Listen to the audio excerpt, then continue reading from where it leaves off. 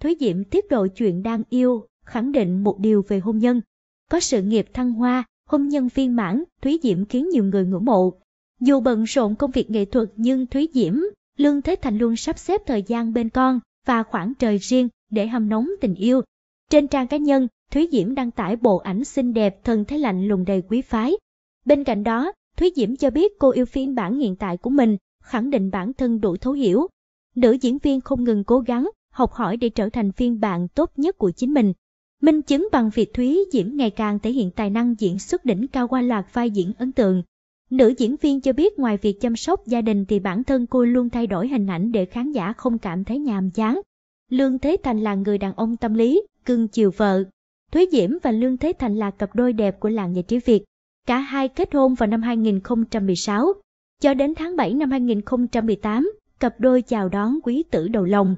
Qua gần 8 năm bên nhau, Thúy Diễm và Lương Thế Thành vẫn mặn nồng và hạnh phúc bên nhau. Có chồng là người trong nghề nên Thúy Diễm nhận được sự đồng cảm, chia sẻ từ nửa kia trong công việc. Mỗi khi có bộ phim mới, nữ diễn viên đều tâm sự cho chồng nghe vai diễn của mình để nhận về góp ý từ anh. Thời gian qua, Lương Thế Thành, Thúy Diễm liên tục vướng tin đồn ly hôn mặc dù cả hai đang rất hạnh phúc. Nữ diễn viên tiết lộ, thời gian đầu hai vợ chồng khủng hoảng khi đối diện tin đồn khủng khiếp này. Sau đó, tin đồn này được lặp lại nhiều lần khiến cả hai dần quen và chấp nhận điều đó. Ông xã Thúy Diễm là người tâm lý. Anh sẵn sàng lui về hậu phương chăm sóc gia đình để vợ theo đuổi đam mê. Thúy Diễm thích miệng, chảy máu vì vai diễn ác nhất sự nghiệp. Đạo diễn Trần Ngụ Tấn cho biết Thúy Diễm là lựa chọn hoàn hảo cho vai mẹ kế.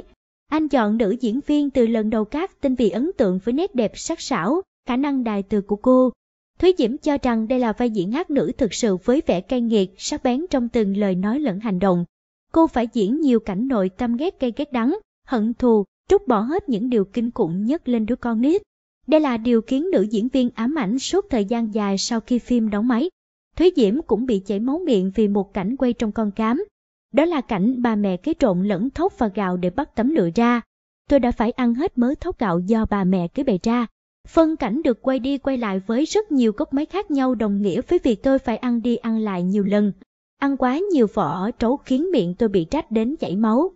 Tôi hy vọng khi lên phim phân cảnh sẽ tạo được hiệu ứng tốt với khán giả. Cô kể lại,